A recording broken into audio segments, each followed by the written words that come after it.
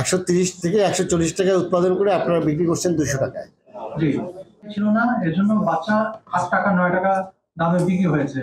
এটা কিন্তু একটা মার্কেট প্রাইস যখন একটা যখন একটা পণ্য প্রোডাকশন হয় এবং এটা যখন কোনো ডিমান্ড না থাকে, তখন মার্কেট প্রাইস অবশ্য কমে যাবে।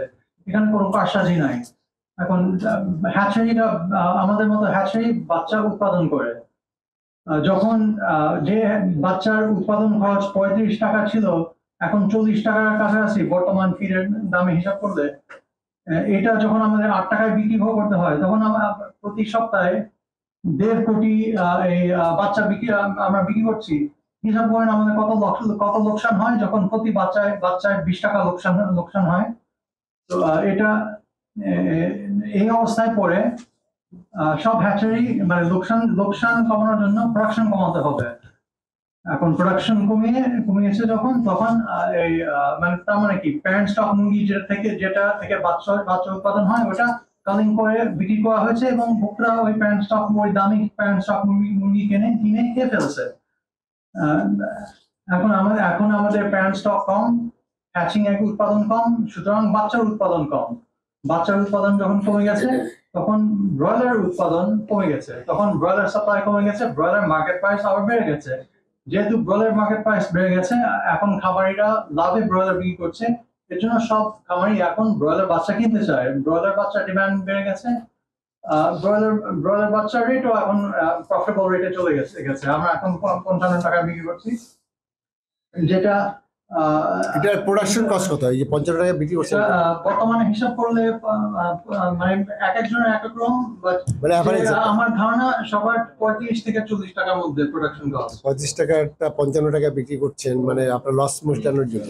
না এক্সকিউজ মি এক্সকিউজ এটা অনেক কম বলছেন আপনি এই প্রেসটা এটা এটা একটা মার্কেট প্রাইস এখানে কোনো কারসাজি নাই।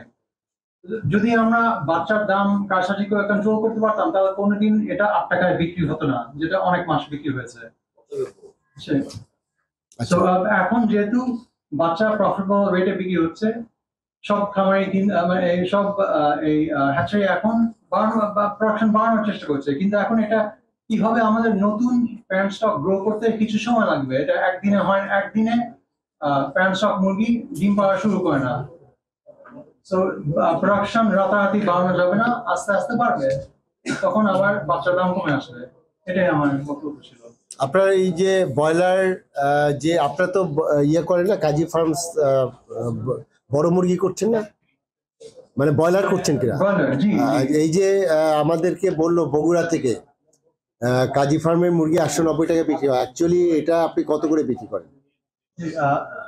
গতকালকে ডিফারেন্ট ডিস্ট্রিক্টে আমাদের মানে একটা average। ডিস্ট্রিক্টে বিক্রি হয় মানে গতকালকে প্রাইস ছিল একশো নব্বই থেকে দুইশো দুইশো এক মিনিট একশো হ্যাঁ একশো নব্বই থেকে দুইশো পাঁচ টাকা দুশো পাঁচ টাকা এটা কোথায় দুইশো ষাট টাকা রংপুরে। মানে এইটা কি রংপুরে বিক্রি করেন নাকি আমাদের মুরগি উৎপাদন। হয় কন্ট্রাক্ট ফার্মে মানে এই দুশো। দুশো ষাট টাকা কি এই যে কাপ্তান বাজারে যে কিনলো আপনার মুরগিটা সে কি দুশো ষাট টাকা কাপ্তান বাজার কিনছে নাকি রংপুরে কিনছে? রংপুরে দুশো ষাট টাকা। তারপরে তো তার কষ্ট আছে। আর এটার উৎপাদন কষ্ট কত? আপনি যেমন মুরগির কথা বলেন বাচ্চার পঁয়ত্রিশ থেকে চল্লিশ টাকা আপনার কথাই আসছে যেটা পঞ্চান্ন টাকায় বিক্রি করেন।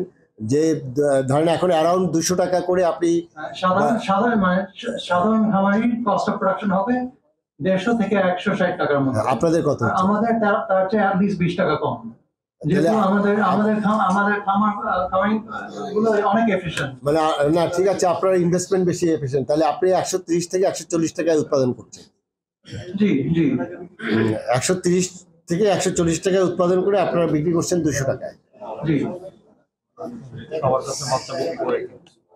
সব খামারিদের কাছে এখন ওনাদের কি আছে? আচ্ছা না আপনি বলেছেন তো। সলিউশন আসবে না এটা। কারণ আপনি সলিউশন কেন আসবে না? যদি একশো চল্লিশ টাকা উৎপাদন কষ্ট হয় যদি দুশো টাকা বিক্রি হয় তারা তো লার্জ স্কেলে এখানে তো মার্জিনটা কম হবে। আচ্ছা বা পঁয়ত্রিশ থেকে চল্লিশ টাকা মুরগির বাচ্চা সেটি যদি আপনার পঞ্চান্ন টাকায় বিক্রি হয় এবং সেখানে লক্ষ লক্ষ পিস এটা কিন্তু আহ, আপনার কত একশো বা দুইশো পিস না।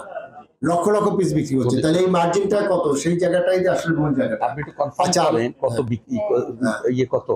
আপনি অফিসে কনফার্ম করেন কস্টিং কত? আপনারা কত এভাবে বললে হবে না কিন্তু। এখানে সাংবাদিকরা আছে। আপনাকে পারফেক্ট নিউজ দিতে হবে। এখানে সাংবাদিক বন্ধুরা আছে উনি আছেন কথা গভর্নমেন্টের লোক। হলো আপনি অফিসে সাতষট্টি টাকা কিন্তু আপনি অফিসে কনফার্ম করেন যে ওরা কস্টিং কত। মানে Please, হ্যাঁ। মুরগির বাচ্চাটা কত আর হ্যাঁ। হলো মাংস উৎপাদনে আপনাদের পার কেজি কস্ট কত? এটা একটু ইম্পর্টেন্ট কিন্তু। হ্যাঁ হ্যাঁ। সবাই আছে দরকার হলে আপনি একটা মিনিট সময় দেন হ্যাঁ। সলিউশন বলতে পারি একটু যদি সলিউশনে ফাইনাল